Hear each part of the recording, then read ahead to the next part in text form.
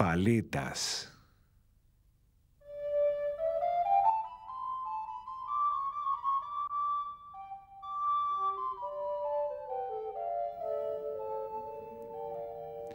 Un paisaje ondulado, bordeado de colinas boscosas. Sobre una cima, un grupo de casas. Sobre otra, una ciudad pequeña. En el valle, entre los follajes, una cascada dispuesta sobre un río. A la derecha, bajo un montecillo de encinas, avanza un pastor. A la izquierda, el tronco de una encina se inclina sobre un estanque. Una mujer desnuda se apoya en el brocal con su mano derecha.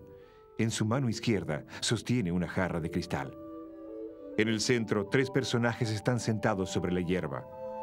Otra mujer desnuda tiene el rostro vuelto hacia la derecha. Ella sostiene una flauta. Un hombre joven, con cabellos claros muy rizados, inclina la cabeza hacia su derecha. A su lado, otro hombre joven, de cabellos largos y negros, toca el laúd. Recuerdo de Arcadia. El concierto campestre. Tiziano Vecellio.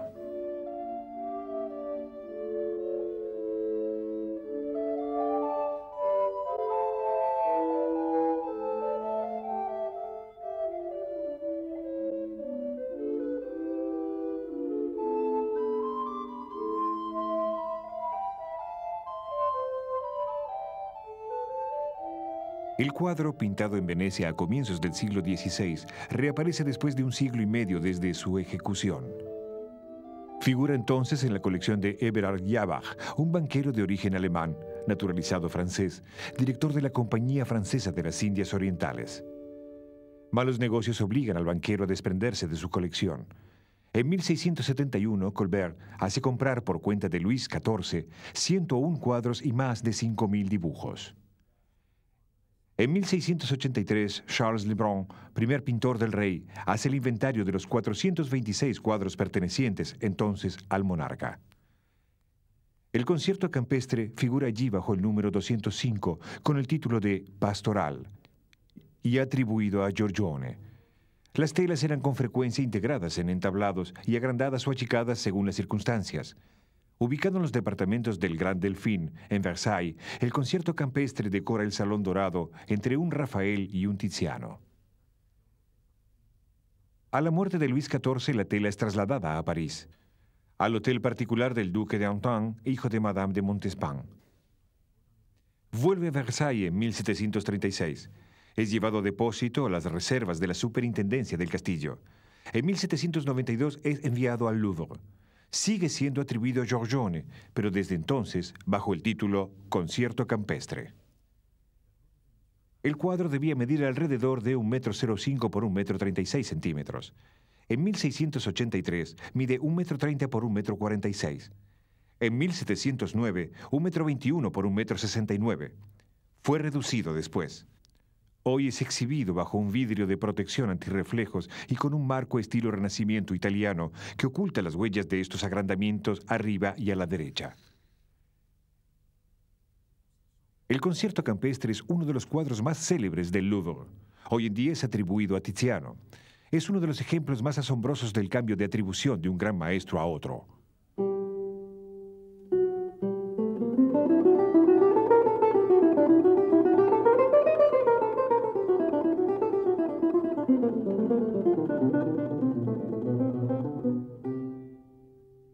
Pintores venecianos son los primeros en hacer uso de la tela extendida sobre un bastidor, moda de soporte que se generaliza hacia fines del siglo XV.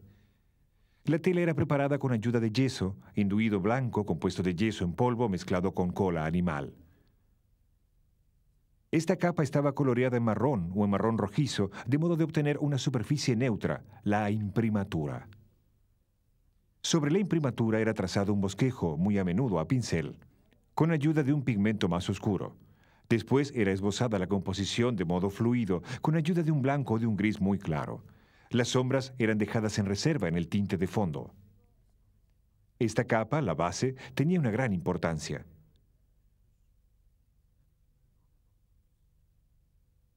Cuando la base estaba bien seca, el pintor aplicaba sobre ciertas superficies delgadas capas de pigmentos puros muy diluidos al óleo y transparentes.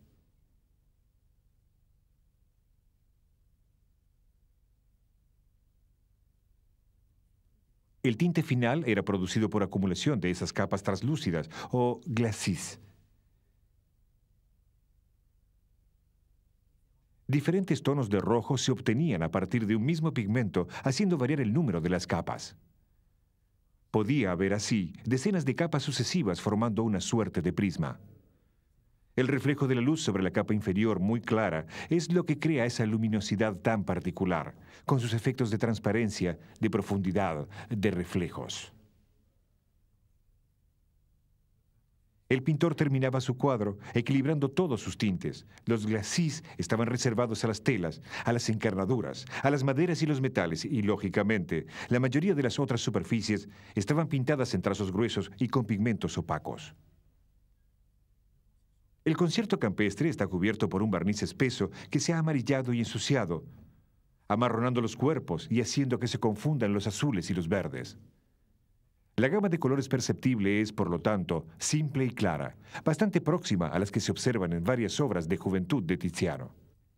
El traje rojo del músico del laúd reúne a su alrededor a los otros colores de la tela, ese rojo entra en concordancia con el verde crudo de las praderas, con el verde más oscuro de los árboles, con el azul del cielo, con los resplandores blancos de la jarra o de las camisas, en fin, con los ocres y los rosados de las encarnaduras femeninas.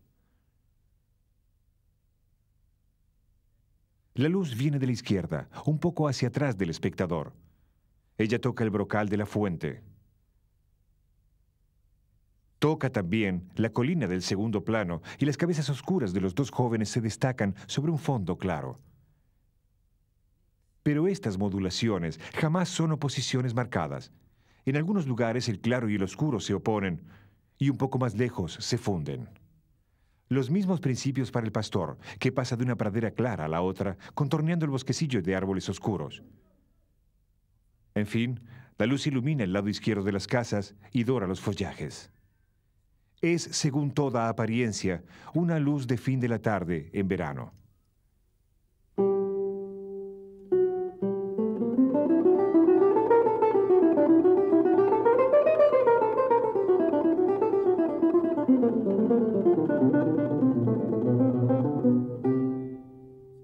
Si el concierto campestre ha sido por largo tiempo atribuido a Giorgione, es porque presentaba múltiples afinidades con otras obras del pintor veneciano. El crepúsculo.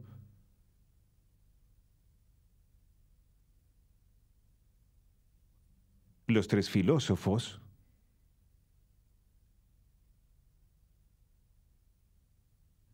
La tempestad. Estos cuadros forman composiciones enigmáticas cuyos sujetos ocultos dividen a los especialistas como varias obras de Tiziano. Giorgione acuerda un lugar muy grande al paisaje que participa de una suerte de meditación filosófica y poética, tema que se encontrará también en muchas obras de Tiziano. En fin, Giorgione también pone en escena a pastores, músicos y mujeres de formas redondas.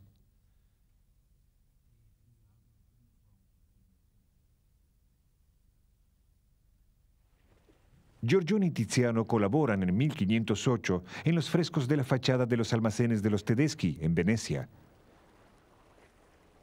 Giorgione tiene 31 años, Tiziano unos 20. Giorgione muere en 1510, sin duda, durante una epidemia de peste. Quizá como lo quiere una tradición, Tiziano termina algunas telas dejadas en el atelier. Pero varios cuadros, por mucho tiempo atribuidos a Giorgione, fueron finalmente devueltos al joven Tiziano por la mayoría de los historiadores. Susana y Daniel, la Virgen y el Niño con San Antonio y San Roque, el concierto, El caso de la Venus dormida es más complejo. La roca y la silueta de la mujer serían tal vez de Giorgione.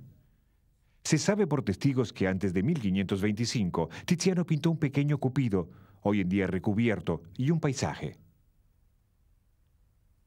Tiziano reutiliza este mismo paisaje en Noli Me Tangere.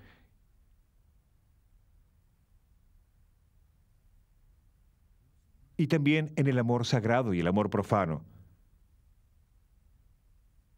pero invertido y aumentado por una torre. Esta Venus dormida ocupa el mayor espacio posible del cuadro. Curvas y redondeces armonizan con las del paisaje. Es la primera manifestación de un género pictórico que conocerá una inmensa posteridad. Tiziano, que se apega a la Venus dormida hasta el punto de parafrasearla, no cesará en el curso de su muy larga carrera de volver al tema de la mujer desnuda tendida frente a un paisaje.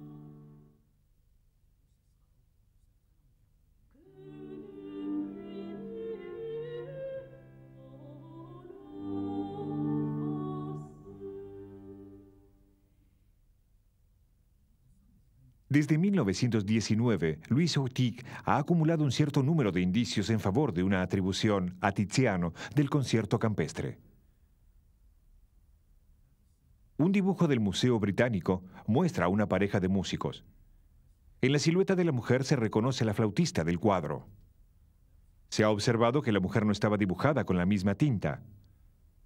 ¿Se trata tal vez de un dibujo preparatorio de Giorgione conservado por Tiziano y completado por él?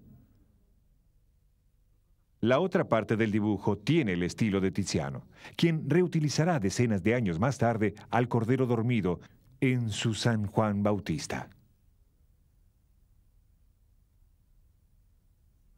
El hombre joven de cabellos largos se reencuentra en varias obras de Tiziano, y en particular en sus frescos de Padua, realizados en 1511, justo después de la muerte de Giorgione.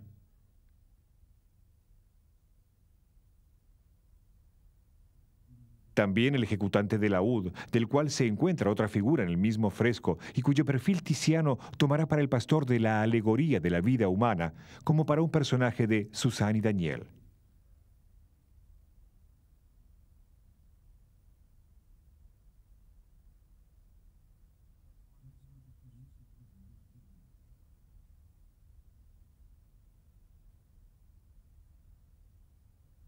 El pastor con sus corderos es una suerte de sello en las primeras obras de Tiziano.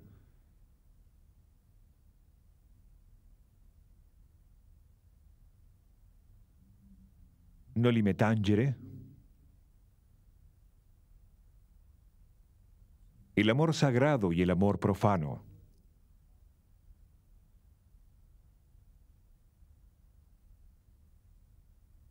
La Virgen del Conejo la alegoría de la vida humana.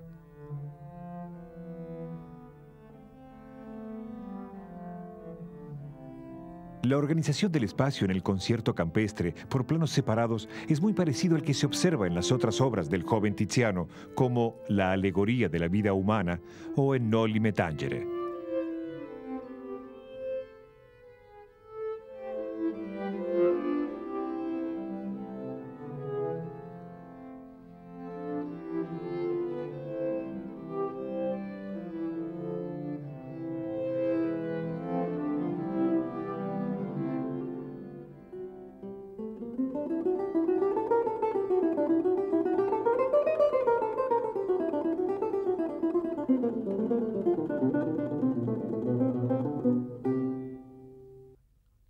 La escenografía muestra sobre todo la tela de montaje del siglo XIX y solamente algunos elementos de la tela de origen. La densidad de la pintura es débil. El cuadro ha sido, pues, compuesto con ayuda de glacis coloreados muy delgados. Pero sobre la parte izquierda de la tela, el espesor del pigmento es más importante. La silueta de la mujer de pie cubre una primera versión muy diferente. En su origen la mujer era vista de frente, las piernas paralelas, el rostro vuelto hacia el grupo central y el brazo izquierdo alzado hacia el grupo. Esta silueta llama a la comparación con otra pintura de Tiziano, el amor sagrado y el amor profano. La mujer, situada a la derecha, tiene una posición parecida y sostiene una copa. Tal vez Tiziano se haya servido del mismo dibujo de base. Pero la silueta recuerda también un grabado de Mercantonio Raimondi que data de 1508 y está inspirado en una obra desaparecida de Giorgione titulada La Primavera. Parece que la primera mujer tenía la misma forma de cabeza, el mismo cuerpo macizo, pero las posiciones de sus brazos eran exactamente inversas, Quizá portase ella recipientes parecidos. Y en efecto, la radiografía muestra en una posición de base una estructura redonda que podría ser la boca de un recipiente. Habría entonces allí una primera instancia de la mujer de pie. Ella sostenía en su mano derecha la jarra, cuya agua vertía en el suelo. El cliché muestra también otra posición de la mano y la jarra. El pintor ha llevado el brazo izquierdo de la mujer hacia la izquierda del espectador. Al mismo tiempo, cambió la orientación de la cabeza que se vuelve ahora hacia la fuente. El brazo que antes sostenía la jarra no se ha movido, pero la mano se apoya sobre el brocal. Es la otra mano la que toma la jarra. Esta primera posición bastante profunda junto al pozo sin duda no satisfizo al pintor. Ha elevado el antebrazo y la muñeca en un gesto mucho más elegante. Y la cabeza se ha movido otra vez. A la torsión del busto corresponde una torsión inversa de los miembros inferiores. La pierna izquierda de la mujer ha pasado detrás de la derecha. Una parte de estas modificaciones puede advertirse en simples fotografías infrarrojas. La huella de la pierna izquierda original es visible en la hierba y en el borde del ropaje del ejecutante del laudo. También son perceptibles la posición intermedia del brazo y la segunda posición de la jarra. El mismo cliché muestra una red de líneas finas. El personaje fue copiado de un dibujo según el método tradicional de puesta en cuadro. Más fina que la simple fotografía, la técnica de reflectografía infrarroja permite analizar, con ayuda de una cámara de video, el reflejo de la luz sobre las capas más o menos profundas de los pigmentos. Así se percibe por zonas el primer dibujo efectuado a pincel sobre la imprimatura o puede observarse un arrepentimiento en la posición del pie del pastor. Igualmente el pintor ha ensayado varias posiciones de los dedos de la mujer, que tal vez sostenía una copa antes de sostener la jarra. La segunda posición de su brazo es también muy visible. Pero la reflectografía no permite leer lo que hay debajo de las pintadas opacas y no aporta, pues, otras informaciones sobre la posición exacta de la primera mujer desnuda.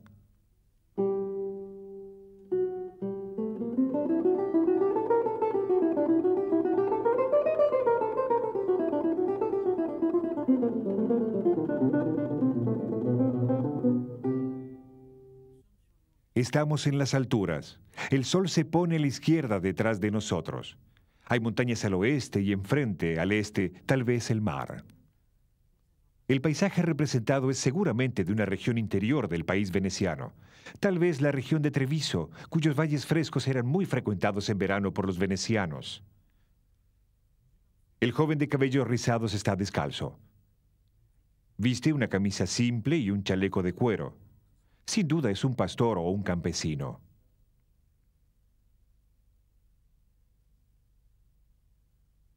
El ejecutante de laúd está tocado con una boina de terciopelo rojo ajustada con un lazo negro y combina con su capa.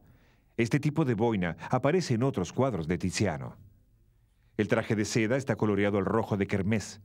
Este color era signo de lujo, igual que la camisa fina bordada y el corte del traje con mangas abullonadas. El joven lleva calzas, esas medias bicolores que son, quizá, el signo de su pertenencia a una hermandad, la compañía de la calza.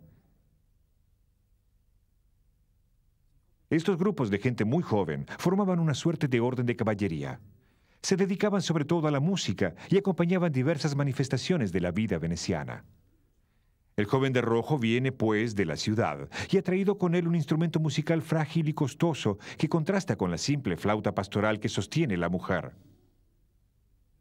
El laúd de cinco cuerdas dobles aumentadas con una prima es un instrumento frecuente en las imágenes venecianas de la época. Y una de las dos mujeres, aunque desnuda, lleva también las marcas de la moda aristocrática los cabellos recogidos en rodete por un velo de seda liviana que cae sobre el hombro. Pero ¿por qué mujeres desnudas se desplazan por el campo junto a hombres vestidos que parecen ignorarlas? ¿Por qué la flautista está desnuda y sentada en una posición tan desenvuelta? ¿Qué hace la otra mujer de prestancia más noble? ¿Acaba ella de extraer agua o se apresta a verterla en la fuente, lo que parecería absurdo? Podría tratarse de un simple encuentro bucólico en un bello fin de tarde de verano entre dos parejas, habiendo venido el primero a visitar al del campo. Esta explicación ha aparecido siempre demasiado simple a los historiadores de arte, que han elaborado hipótesis más complejas.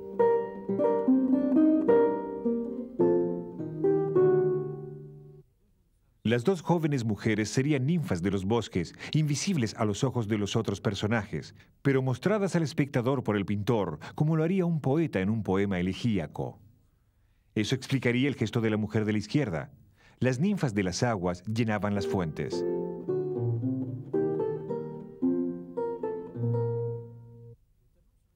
El cuadro sería una alegoría de la poesía. En el conjunto de cartas del juego de tarot llamado de Manteña, impreso en Ferrara hacia 1468, existe una figura de la poesía. El personaje sentado toca la flauta con una mano y con la otra vierte el agua en una fuente. La figura de la música es una mujer sentada que también toca la flauta con un laúd a sus pies.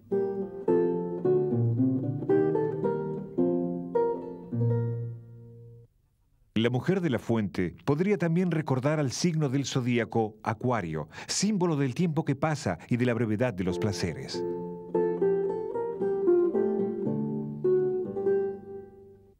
Se ha propuesto ver igualmente en el concierto una ilustración de los comentarios de Marcil Ficin sobre el banquete de Platón. Los dos aspectos del amor serían simbolizados por los dos jóvenes opuestos por su vestimenta. En cuanto a las dos mujeres, ellas representarían la naturaleza doble de Venus, terrestre y celeste. Una está sentada pesadamente sobre la tierra, la otra se yergue sobre un solo pie. Y el concierto sería, de hecho, una alegoría del amor y de la belleza. Numerosas imágenes astrológicas ponen en escena la doble naturaleza de Venus y de sus hijos, muy a menudo bajo forma de grupos de músicos y bañistas junto a una fuente. A comienzos del siglo XV, Venecia se vuelve la capital europea del libro impreso. Se editan los clásicos griegos y latinos y también algunos libros en italiano. Los manuscritos eran raros o de difícil acceso. Los libros entran desde entonces en casa de todos los alfabetos. Muchos cuadros de Tiziano están inspirados en escritos antiguos. El pintor intenta así reinventar los cuadros célebres de la antigüedad, desaparecidos, pero descriptos por los cronistas. La Bacanal de los Andréan, o ilustra escenas mitológicas descritas por los poetas y sobre todo por Ovidio, Baco y Ariadna. Venus y Adonis. Además, Tiziano vuelve a la famosa frase de Horacio, ut pictura poesis, la poesía es como la pintura, y llama a sus cuadros poesía.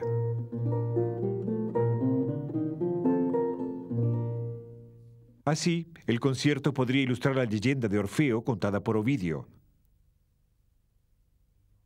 Habiendo perdido a Eurídice para siempre, Orfeo decide en adelante consagrarse al amor de los hombres jóvenes. Un fragmento de la leyenda cuenta que Orfeo se enamora del joven Calé. Eso desata la cólera de las mujeres de Tracia que lo matan. El cuadro podría también evocar el poema de Teócrito sobre la leyenda de Dafne, el pastor que habría inventado la poesía bucólica. Cegado por una ninfa a quien había jurado fidelidad, pasa su vida cantando sus lamentaciones.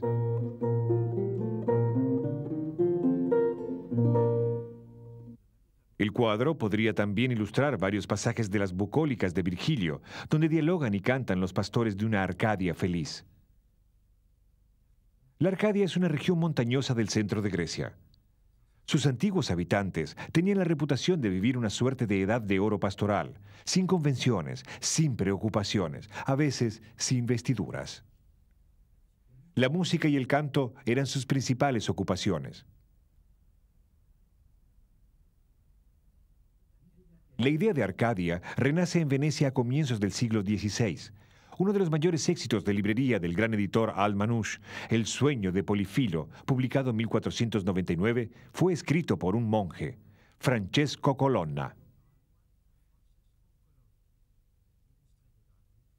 Ilustrado con grabados, este relato esotérico cuenta una búsqueda amorosa en un escenario pastoral sembrado de ruinas antiguas y de inscripciones.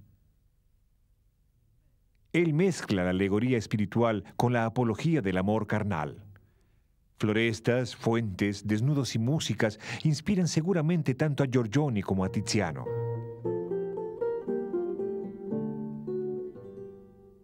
En la montaña, cerca de Treviso, los venecianos instalaron a Catherine Cornaro, la ex reina de Chipre. Le han construido una pequeña ciudad ideal, Asolo. En la corte se codean pintores, sabios, eruditos, poetas. El humanista veneciano Pietro Bembo, quien frecuenta Giorgione y que será más tarde amigo de Tiziano, publica en 1505 Los Asolanos, las gentes de Asolo, una serie de discursos sobre el amor, de personajes alegóricos.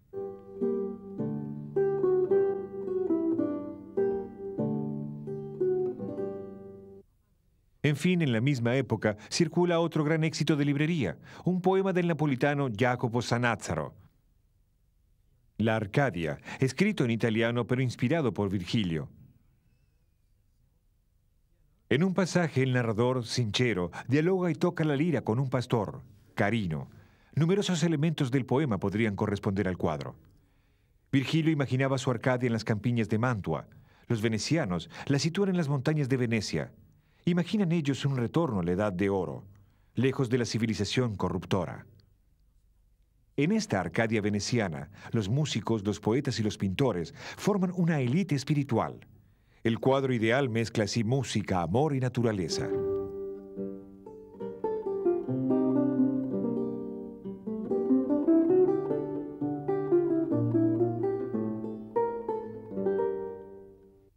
Laúd y flauta. Los dos instrumentos eran considerados como incompatibles. Tal vez estén presentes justamente para significar una oposición entre la flauta, macho, y el laúd, hembra. Cuerpos desnudos en la naturaleza. Huecos y sombras modulan nuevas curiosidades, nuevas interrogaciones. Los pliegues y los nudos de los ropajes parecen hacer eco a los huecos y los pliegues de los cuerpos. La pintura traducirá desde entonces la dimensión erótica de la belleza. Si el cuerpo es tratado como un paisaje, el paisaje mismo es un cuerpo enamorado. Al borde de un dibujo atribuido a Giorgione, el ejecutante de viola, el artista ha dibujado un tronco de árbol con relieves femeninos. Este mismo árbol se reencuentra, apenas menos explícito, en el dibujo que muestra a una pareja de músicos. En el concierto campestre, el tronco del árbol detrás de la fuente se curva según las curvas de la mujer desnuda. Las frondas de las encinas son macizas y espesas como los cabellos del pastor. Las ondulaciones sucesivas del país interior repiten las de los cuerpos. Con Giorgione y Tiziano, el paisaje se ha vuelto el lugar de una metáfora erótica.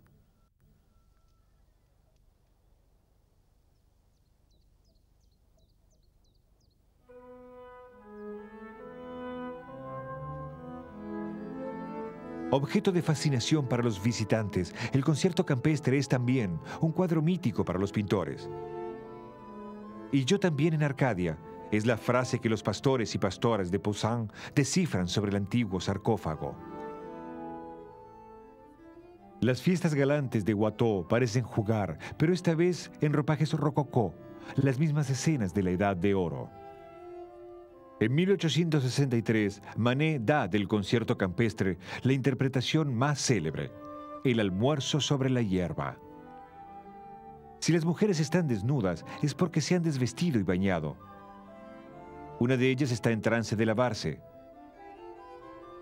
No hay más ninfas ni alusiones mitológicas. La mirada irónica sobre una arcadia de picnic no impedirá a la imagen continuar obsesionando a los pintores. En su juventud, Cézanne ejecuta de memoria una acuarela recordando las grandes líneas del cuadro. El concierto campestre y el almuerzo sobre la hierba están en el origen de un pequeño cuadro, pastoral. Y durante toda su vida, el pintor vuelve con obstinación al tema de los bañistas y las bañistas en una naturaleza saturada de colores.